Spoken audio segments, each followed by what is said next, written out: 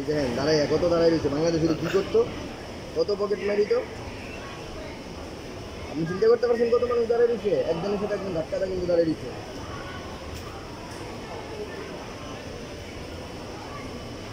তুমি কিন্তু তোমার কাঠ না আর এই দিতে পারবে না। হ্যাঁ একদমই গেছে।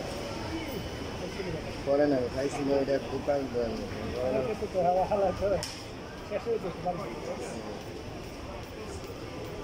क्या ये?